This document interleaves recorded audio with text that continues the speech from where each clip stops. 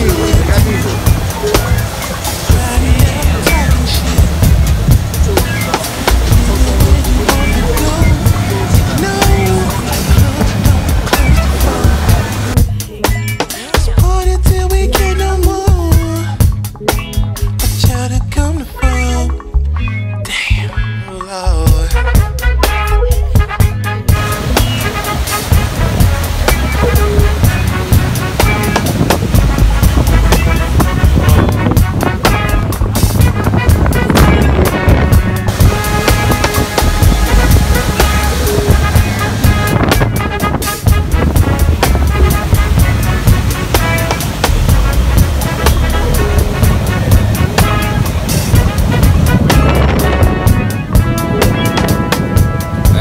Dickens, It gives me the Dickens reminiscent of Charles. A little disco taking nestled in the ghettos of Niggerville, USA.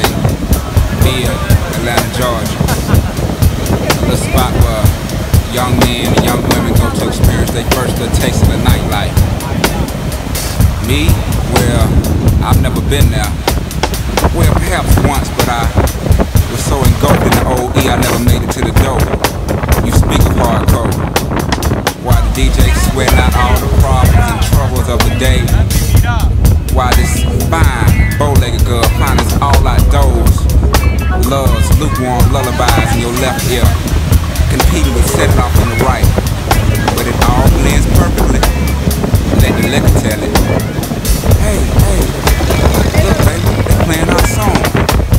And the crowd goes wild. As if Holyfield just won the fight.